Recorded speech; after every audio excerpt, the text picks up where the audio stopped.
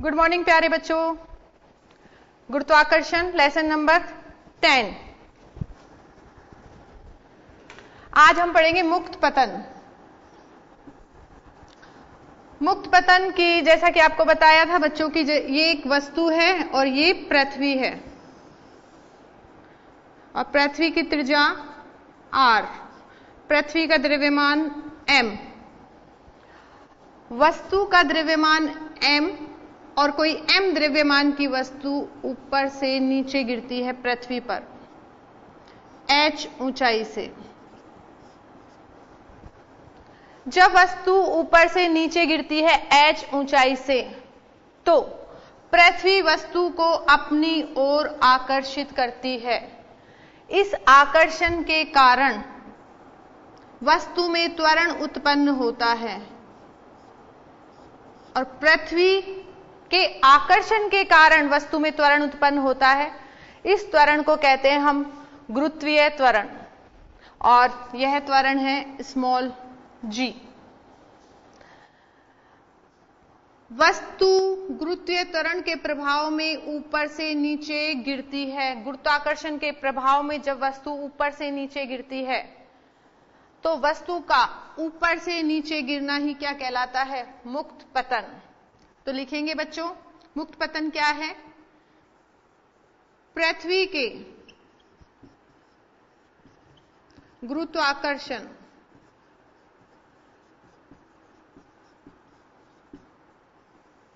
बल के प्रभाव में वस्तु का नीचे गिरना। मुक्त पतन कहलाता है।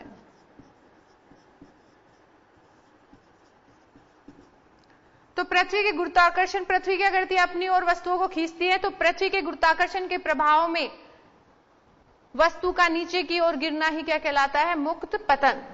अब देखिए वस्तु है, वस्तु पर बल कार्य करेगा F और वो होगा उसके द्रव्यमान और गुरुत्वीय त्वरण के बराबर।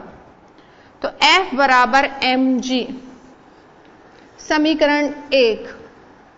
और जब वस्तु पृथ्वी पर नीचे गिर के आती है तो दो पिंडों के बीच में न्यूटन ने बताया था कि आकर्षण बल लगता है। वो दोनों पिंडों की केंद्र से दूरी के वर्ग के व्युत्क्रमानुपाती और उनके द्रव्यमानों के गुणनफल के समानुपाती आता है। तो देखिए बच्चों, ये गुरुत्वाकर्षण बल F क्या होगा? पृथ्वी का द्रव्यमान हम कितना मान रहे हैं? M एक हमने गुरुत्वीय नियतांक और बताया था बच्चों, गुरुत्वीय नियतांक है हमारा कैपिटल G पृथ्वी का द्रव्यमान कैपिटल M, वस्तु का द्रव्यमान स्मॉल m और पृथ्वी और वस्तु के बीच की दूरी को हम पृथ्वी की त्रिज्या के बराबर मान लेते हैं। वो है आर और उसके भी वर्ग के स्क्वायर ये हमने गुरुत्वाकर्षण की परिभाषा में सूत्र स्थापित किया था, उससे ये हमारा सूत्र निकला था और ये हमने पृथ्वी और वस्तु पे लागू किया है। वस्तु पर बल जो बल कार्यरत होता है, जो फोर्स कार्यरत होता है, वह है F बराबर एम और इसको हमने मान लिया समीकरण एक। वस्तु और पृथ्वी के बीच में गुरुत्वाकर्षण बल लगता है, उसका मान है G, गुरुत्वीय नियतांक, M, पृथ्वी का द्रव्यमान, वस्तु का द्रव्यमान, और दोनों के बीच की दूरी, दोनों के बीच की दूरी कितनी होती है? पृथ्वी की त्रिज्या के बराबर, और इसे हमने रखा आर स्क्वायर अब देखिए बच्चों, ये समीकरण एक आया है, ये समीकरण दो आया है, आप इसे नोट डाउन कर लीजिए।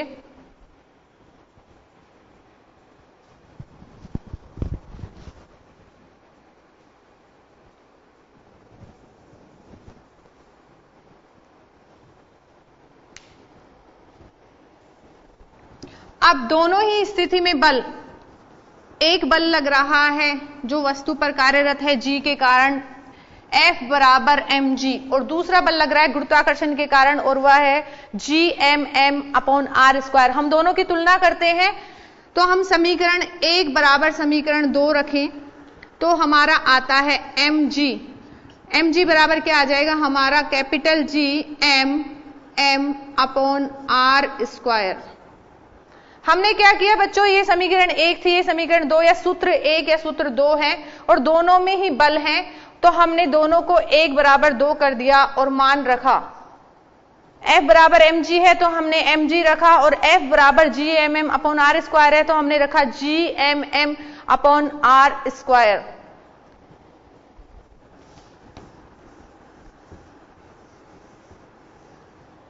अब देखिए बच्चों, यहाँ पर m और m दोनों ही वस्तु के द्रव्यमान हैं, ये दोनों एक दूसरे से कैंसिल हो जाते हैं, कट जाते हैं। तो अब हमारा g g आता है यहाँ पर G M upon R square ये हमारा गुरुत्वीय त्वरण है। तो हम यहाँ लिख देते हैं बच्चों कि जी क्या है हमारा गुरुत्वीय त्वरण।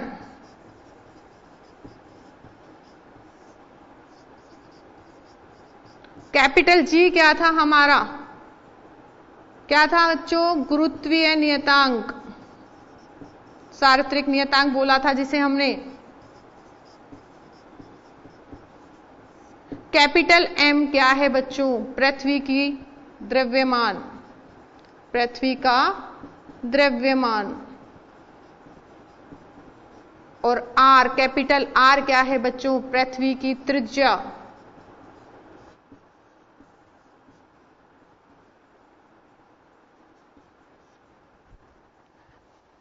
तो हमने यहाँ पर बता दिया जी जी क्या है? गुरुत्वीय त्वरण, कैपिटल जी गुरुत्वीय नियतांक है। गुरुत्वीय सार्वत्रिक नियतांक कहते हैं जिसे।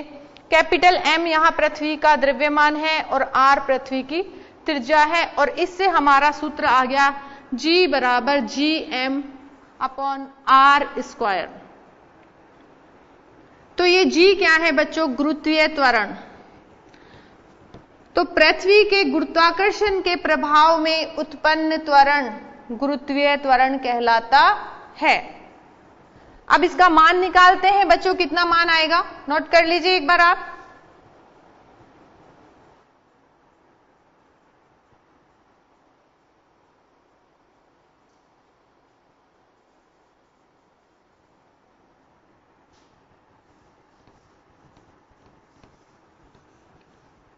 मान मैं आपको लिखवा रही हूँ, आपको याद करने हैं। कैपिटल जी का मान मैंने आपको पिछली क्लास में बताया था, छह पॉइंट, छह सात तीन था। हम यहाँ पर इसको लगभग छह पॉइंट सात लिख देते हैं। गुणा दस की पावर माइनस ग्यारह न्यूटन मीटर स्क्वायर प्रति kilogram square. Newton metre square प्रति किलोग्राम स्क्वायर। किसका मान आया था? गुरुत्वीय त्वरण का मान आया था। पृथ्वी का द्रव्यमान फिक्स है बच्चों। छ गुणा दस की पावर चौबीस किलोग्राम। पृथ्वी की त्रिज्या बच्चों फिक्स है, पर हम थोड़ा सा त्रिज्या के बारे में और भी बताएँगे। यहाँ पर हमने त्रिज्या का मान लिया है 6.4 पॉइंट गुणा दस की पावर 6 मीटर।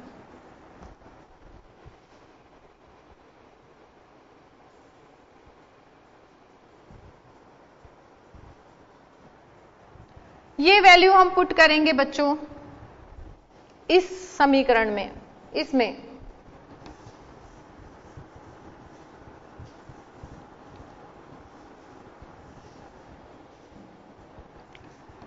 तो देखिए बच्चों, g बराबर था हमारा G M upon R square G का मान रखें हम 6.7 पॉइंट गुणा दस की पावर माइनस ग्यारह। M का मान रखें बच्चों, m का मान कितना आ रहा है? 6 गुणा दस की पावर 24 6 गुणा दस की पावर 24 यहाँ पर नीचे रखें हम त्रिज्या का मान, पृथ्वी की त्रिज्या कितनी है? 6.4 गुणा दस की पावर 6 और इसका कर दें हम स्क्वायर। जब हम ये सारे मान रखते हैं बच्चों तो हमारा, इसको सॉल्व करना आप लोग घर पर। हमारे पास इतना टाइम नहीं है कि सबका मल्टीप्लाई और सॉल्व करके बताएँ। तो आप इसको सॉल्व करेंगे तो इसका मान आएगा 9.8 मीटर प्रति सेकंड स्क्वायर। ये है पृथ्वी का गुरुत्वीय त्वरण जी और इसका मान आता है बच्चों 9.8 मीटर प्रति सेकंड स्क्वायर। और जब हम न्यूमेरिकल्स करते हैं तो इसका मान लगभग मान लेते हैं 10 9.8 को लगभग 10 मान लेते हैं। लगभग 10 मीटर प्रति सेकंड स्क्वायर मान लेते हैं न्यूमेरिकल में, जिससे हमें पॉइंट्स की कोई प्रॉब्लम ना हो। तो न्यूमेरिकल वैल्यू हम ये रख सकते हैं, जब हम क्वेश्चन सॉल्व करते हैं तो लगभग मान लेते हैं 10 मीटर प्रति सेकंड स्क्वायर। नोट कर लीजिए बच्चों।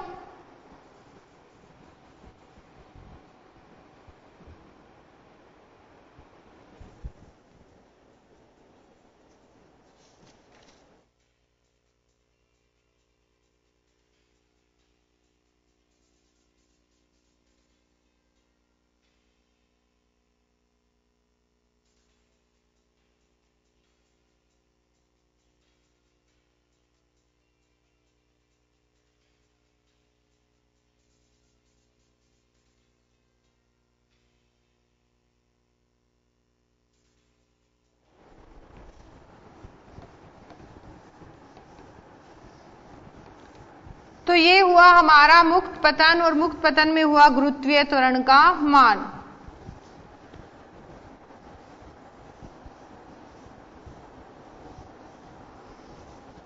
नेक्स्ट टॉपिक लेते हैं बच्चों, पृथ्वी के गुरुत्वाकर्षण।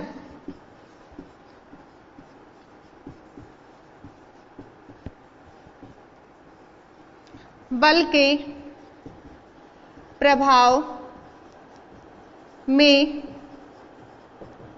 वस्तुओं की गति, कि वस्तुएँ किस प्रकार से गति करेंगी गुरुत्वाकर्षण के प्रभाव में? वस्तुओं की गति। ये हमारा नेक्स्ट टॉपिक है बच्चों। पृथ्वी के गुरुत्वाकर्षण बल के प्रभाव में वस्तुओं की गति। क्या बताया जाता है कि चाहे कोई वस्तु भारी हो, चाहे हल्की हो, चाहे छोटी हो या मोटी हो या ठोस हो या खोखली हो, जब ऊपर से नीचे गिराई जाती है तो उनके गिरने की दर समान होती है। तो एक प्रैक्टिकल करते हैं, एक प्रयोग करते हैं बच्चों, और ये मेरे पास एक कागज़ है, देखिए, दिख रहा होगा आपको कागज़। दिख रहा है आपको ये कागज़? ये एक कागज़ है, और ये एक सिक्का है। ठीक है? अब हम इन दोनों को देखिए। ये कागज़ है और ये सिक्का है और हम इन दोनों को एक साथ गिराते हैं और आप भी गिराकर देखना।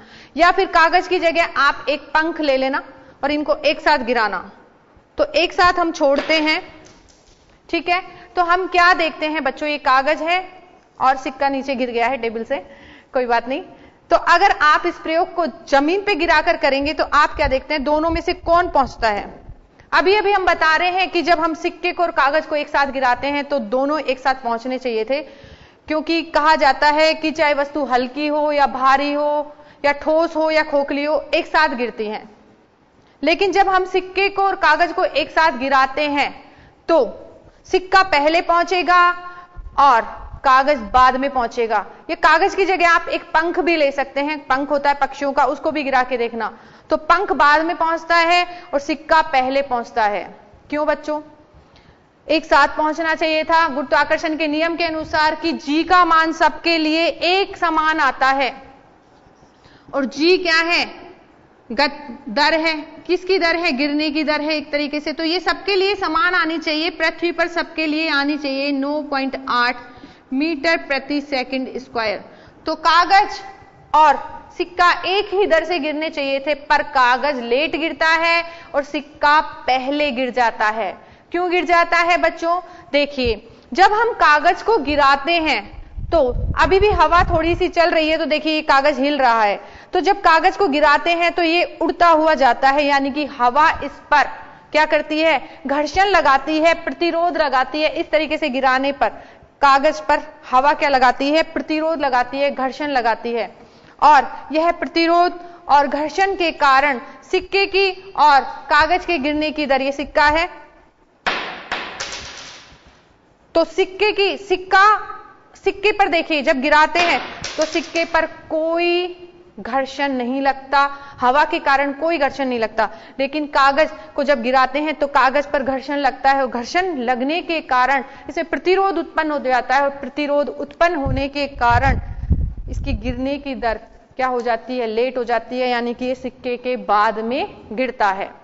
तो ये हमने आपको बताया कि सभी के लिए दर समान होती है 9.8 मीटर प्रति सेकंड स्क्वायर। लेकिन कागज़ पर घर्षण के कारण प्रतिरोध उत्पन्न होता है और उस प्रतिरोध के कारण कागज़ लेट गिरता है और सिक्का पहले गिर जाता है। अब क्या हुआ बच्चों?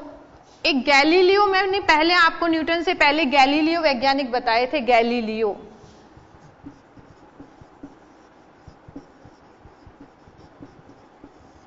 गैलीलियो ने पुष्टि की इस चीज़ की? कि चाहे वस्तु हल्की हो, भारी हो, ठोस हो, खोखली हो। अगर समान ऊंचाई से, शर्त क्या है? समान ऊंचाई से उनको गिराएँ तो एक ही समान दर से, यानी कि एक ही दर से, समान दर से वस्तुएँ गिरती हैं। उन्होंने क्या किया? उन्होंने प्रैक्टिकल किया था बच्चों। अभी टाइम हो चला है ब्रेक का ब्रेक के बाद फिर हाजिर होते हैं।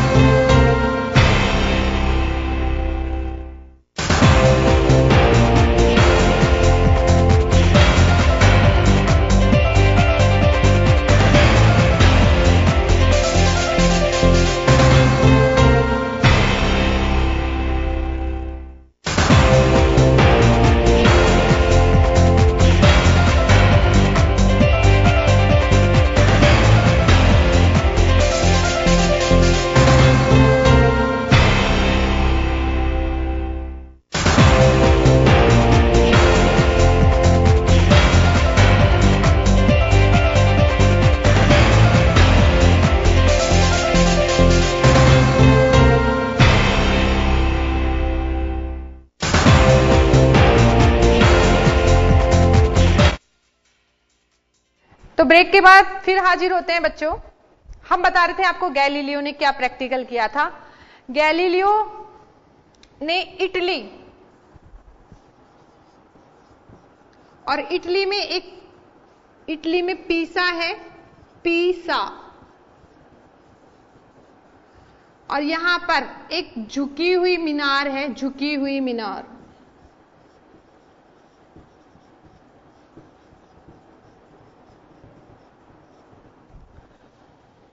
इटली में पीसा की झुकी हुई मीनार से गैलीलियो ने विभिन्न वस्तुओं को एक साथ गिराया और देखा कि सभी वस्तुएँ एक ही दर से नीचे पहुँचती हैं। और उन्होंने पुष्टि कर दी कि वस्तुएँ चाहे हल्की हो या भारी हो, ठोस हो, खोखली हो, अगर समान ऊंचाई से गिराई जाती हैं तो गिरने की दर समान होगी। किसने पुष्टि की है? ये गैलीलियो ने। ठीक है? तो पृथ्वी के गुरुत्वाकर्षण बल के प्रभाव में वस्तुओं की गति यह है कि उनका गुरुत्वीय त्वरण नियत है और नियत होने के कारण उनके गिरने की दर भी समान होगी।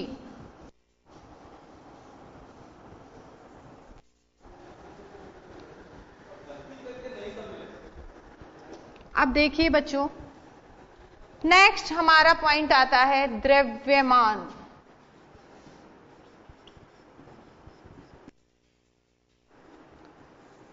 द्रव्यमान को हमने स्मॉल एम से लिखा था, इसका मात्रक होता है किलोग्राम, ग्राम, मिलीग्राम।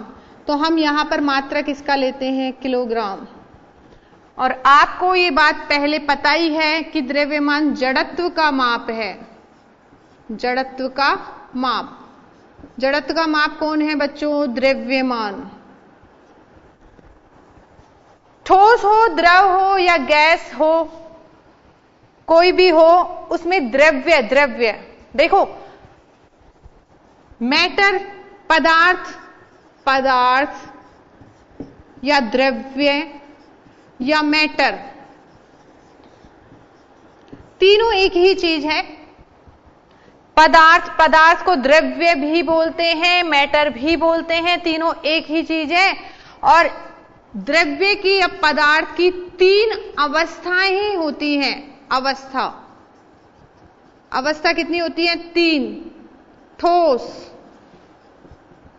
द्रव। ये द्रव है और गैस। आप देखिए बच्चों, यहाँ पर द्रव्य और एक है द्रव। ये द्रव्य आया है और ये द्रव आया है। द्रव्य यानी कि मैटर, यानी कि पदार्थ। और द्रव यानी कि लिक्विड तो दोनों अलग अलग चीज़ है। ये द्रव्य होता है पदार्थ के लिए और ये द्रव होता है उसकी तरलता बताने के लिए लिक्विडिटी लिक्विड तो हम कह रहे हैं बच्चों कि द्रव्यमान, द्रव्य की मात्रा है, द्रव नहीं, द्रव्य। द्रव्यमान क्या है? द्रव्य की मात्रा। पदार्थ की मात्रा। द्रव्यमान, जड़त्व का माप होता है, द्रव्य की मात्रा है, इसका मात्रक किलोग्राम है। द्रव्यमान में सिर्फ़ परिमाण होता है। परिमाण होगा दिशा नहीं होगी। यानी कि द्रव्यमान अदिश राशि है। अगर आपने एक किलो दूध लिया तो ये दूध एक किलो ही रहेगा। चाहे दूध का दही बन जाए तो भी एक किलो ही रहेगा। लेकिन हम इसको डेढ़ किलो यानी कि वन एंड हाफ़ नहीं कर सकते, या इसको ज़ीरो नहीं कर सकते जब तक कि उसको बाहर नहीं निकाले बर्तन में से। तो हम क्या देखते हैं कि द्रव्यमान फिक्स रहता है, नियत रहता है, बदलता नहीं है तो द्रव्यमान नियत रहेगा। अगर हमने जितना लिया है, उतना ही रहेगा। चेंज नहीं कर सकते, बिना उसमें से पदार्थ को निकाले या डाले। द्रव्यमान कभी भी शून्य नहीं हो सकता। अगर हमने एक किलो लिया है तो एक किलो ही रहेगा। तो द्रव्यमान का मान शून्य नहीं होता।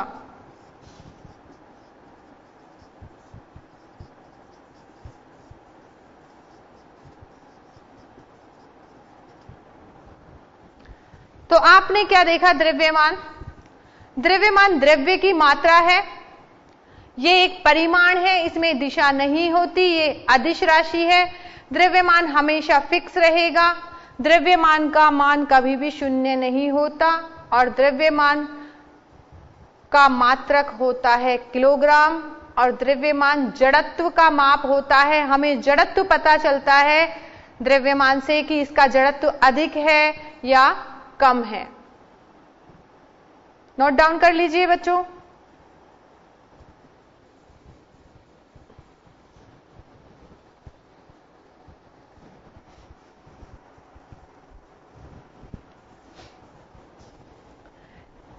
नेक्स्ट आता है हमारा भार।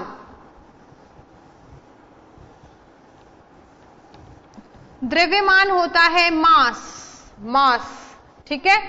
M double M A double S अब हम पढ़ रहे हैं भार। और भार को इंग्लिश में बोलते हैं वेट भार को शो करेंगे हम डब्लू से। भार क्या है? भार, वस्तु का भार गुरुत्वाकर्षण बल है।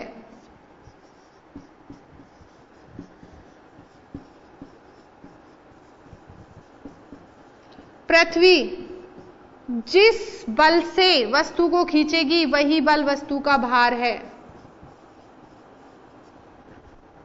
तो वस्तु का भार गुरुत्वाकर्षण बल है, यानी कि भार एक बल है। अगर हम देखें बच्चों तो बल बराबर होता है। द्रव्यमान गुणा त्वरण।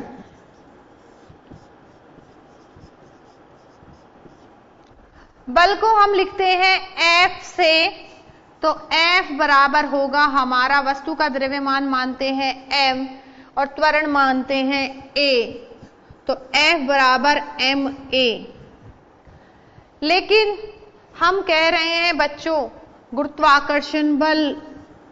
और गुरुत्वाकर्षण के प्रभाव में त्वरण g होता है स्मॉल g तो यहाँ पर F बराबर होगा एम जी एफ़ बराबर क्या होगा बच्चों?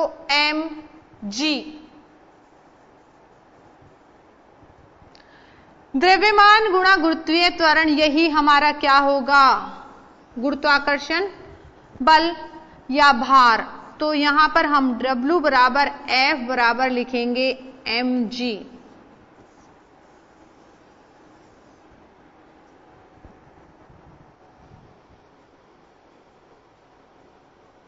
W बराबर F बराबर एम जी तो भार किस पे डिपेंड कर रहा है? द्रव्यमान तो हमेशा नियत होगा तो भार डिपेंड करेगा गुरुत्वीय त्वरण पर।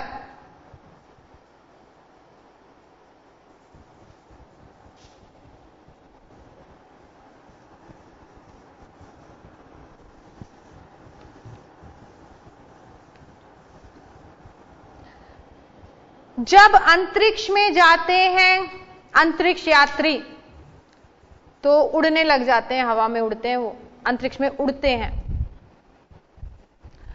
वहाँ पर गुरुत्वाकर्षण बल नहीं होता, जी का मान होता है शून्य। जब जी का मान शून्य हो जाता है तो भार देखिए बच्चों, जी का मान हो गया शून्य, वहाँ पर गुरुत्वाकर्षण होता ही नहीं है। और गुरुत्वाकर्षण नहीं होने के कारण W बराबर एम जी एम तो रहेगा, द्रव्यमान तो रहेगा, उसकी मात्रा तो रहेगी, इंसान तो दिखाई देगा ना वहाँ पर। अगर हम अंतरिक्ष पे चले जाएँ तो हमारी ये बॉडी तो रहेगी ना। तो हमारा द्रव्यमान तो रहेगा, हमारी मात्रा तो रहेगी, लेकिन वहाँ पर गुरुत्वाकर्षण नहीं है। गुरुत्वाकर्षण का मान कितना है? ज़ीरो। तो भार भी क्या हो जाएगा बच्चों? ज़ीरो। और जब भार ज़ीरो होता है तो उसको बोलते हैं भारहीनता। वज़न ही नहीं है। द्रव्यमान तो है, लेकिन गुरुत्वीय त्वरण का मान ज़ीरो है। तो वहाँ पर भार ही महसूस नहीं होता। और ये अवस्था होती है भारहीनता। आ रहा है समझ में बच्चों? तो ये तो हुई अंतरिक्ष की बात। अब देखिए आप, पृथ्वी पर गुरुत्वाकर्षण या गुरुत्वीय त्वरण का मान है जी, और चंद्रमा पर गुरुत्वाकर्षण होता है। ये हम चंद्रमा का बताएँ, जी एम एम यानी कि मून। चंद्रमा पर अगर हम गुरुत्वाकर्षण बताएँ तो पृथ्वी पृथ्वी यानी कि अर्थ। क्या पृथ्वी के गुरुत्वीय त्वरण के बराबर होता है चंद्रमा पर? गुरुत्वीय त्वरण नहीं। वहाँ पर पृथ्वी के गुरुत्वीय त्वरण का एक बट्टा छ वन बाई सिक्स पृथ्वी के गुरुत्वाकर्षण का छठवा भाग होता है कहाँ पर? चंद्रमा पर। तो वस्तु का भार भी, W भी क्या हो जाएगा? पृथ्वी के भार का एक बटा छठवा हिस्सा। हमारा यहाँ पर वज़न है, मान लो, पचास किलो। पचास किलो जो वज़न देते हैं, हम यहाँ वज़न।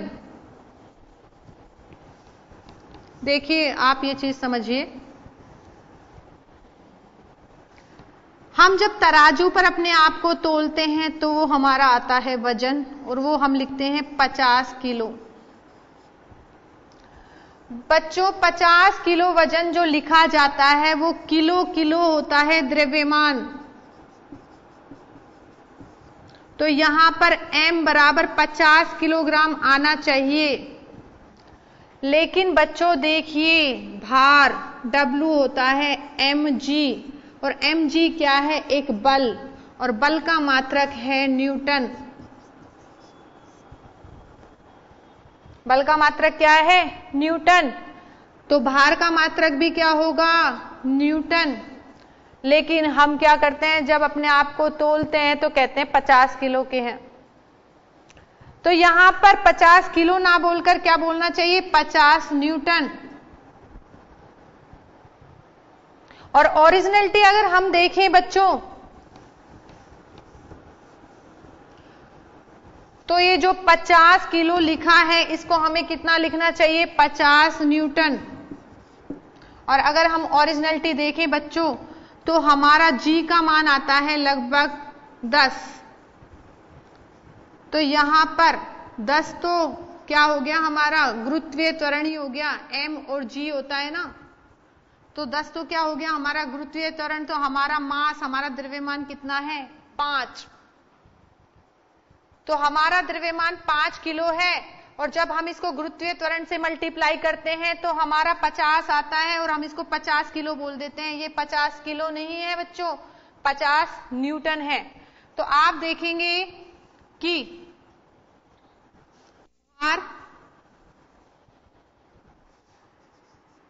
भार क्या है? W और W क्या है ये? Mg यहाँ पर दिशा का भी ज्ञान होता है, ये एक सदिश राशि है।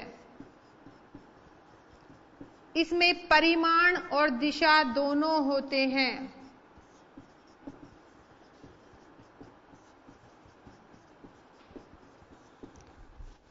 और भार का मात्रक, भार एक बल है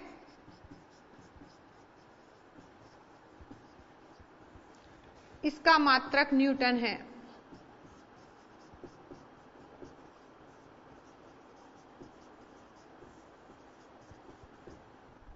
और भार द्रव्यमान की माप है। द्रव्यमान तो जड़त्व की माप है और द्रव्यमान की माप कौन है? भार। ये हमारा भार होता है। नेक्स्ट टर्न पर हम भार और द्रव्यमान में अंतर देखेंगे। वैसे तो मैंने आपको समझा दिया है। आप इजीली बता सकते हैं कि भार बल है और द्रव्यमान मात्रा है। भार सदिश है, द्रव्यमान अदिश है। भार का मात्रक न्यूटन है, द्रव्यमान का मात्रक किलोग्राम है। भार शून्य हो सकता है, लेकिन द्रव्यमान शून्य नहीं हो सकता। तो आज के लिए बच्चों, इतना ही। नेक्स्ट टर्न पर मिलते हैं द्रव्यमान और भार में अंतर के साथ। Thank you